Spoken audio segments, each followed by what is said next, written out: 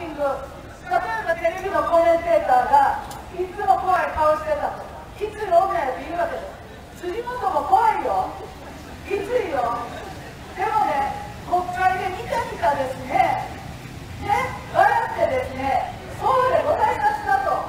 正しい声で言ってるような政治状況ですか？裏金を4人に4.5人に